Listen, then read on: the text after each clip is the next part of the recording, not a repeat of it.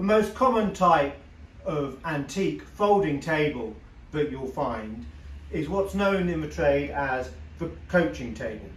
These are two examples. And a coaching table basically has a top which is made up of two boards. It sits on an X-frame leg and you've got a locking bar underneath which secures those two boards in place. So, twisting the locking bar allows the two boards to fold to meet in the middle and the table to dramatically reduce in size. Now, where did the name coaching table come from? Well, we'll probably never know. There is a theory that they were made for use on board uh, coaches, that um, every now and again the coaches would stop, the passengers would get out, they'd set up a coaching table and they'd have their refreshments. Well, that's likely to be utter baloney because there are so many coaching inns on the routes that um, the passengers would stop, go into the coaching inn and have their refreshments while the horses were changed um, and the driver was watered as well. Were they made for um, travel or for domestic use?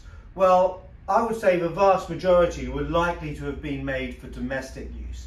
Sure, some officers probably took some with them. They were very practical and as you saw, fold up to a relatively small size. But that practicality was very useful in a home environment. If you needed an extra table, if you were having a party or just to go by the side of a chair or you were going into the garden, a coaching table would be absolutely perfect. And of course that practicality still holds true today. It's always very useful to have an extra table in the house that you can pull out of a cupboard and you can unfold and set up for use. And they're still very popular for that reason. Now the coaching table was made throughout the 19th century. The vast majority of them were made in mahogany. These two examples are mahogany but we have had them in rosewood before and we've also had them in oak. When you're buying a coaching table, there's a couple of things you need to look out for. You want to make sure that the top is nice and stable, that the locking bar holds true. Sometimes with age and movement and shrinkage, there's a little bit of give. So you want to make sure that that's nice and firm. That one's very good this one's very good as well. But what we can see on this one, if we just bring it closer to the camera, is that at some stage it may have had a little bit of movement and somebody has put in what we would call a historic repair. So you've got a bar put on either side just to elevate this section and just to make it a much tighter, stronger fit. Now, it is what it is. Um, that's not something I'm too concerned about. It makes the table far more practical for use and it's part of its history, so it's just something which we have to live with. We've got it there, we can fold it and show you how that locking bar works.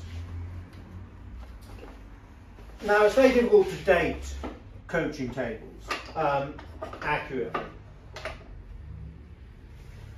Sometimes you might know from the timber, say rosewood, and the shape of the leg that it's going to be earlier.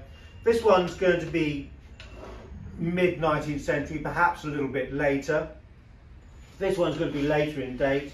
Um, you can see that the leg is not quite as decorative as the lovely movement on this leg. So that gives us a few clues. But of course, the design didn't change an awful lot. Um, so this one's going to be mid to mid 19th century, perhaps a little bit later. This one's going to be towards the end of the 19th century. But actually this one is a lovely size and the fact that it's round and a little bit smaller does make it very useful and practical.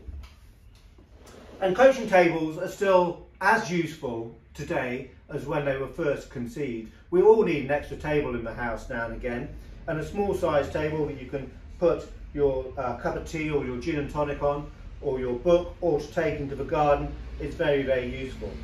So there you go. Two examples of coaching tables, folding tables, probably made for domestic use rather than specifically for an officer, an army officer. Both made in mahogany. This one a little bit earlier than this one. This is going to be mid 19th century, touch later. This is going to be towards the end of the 19th century. The coaching table.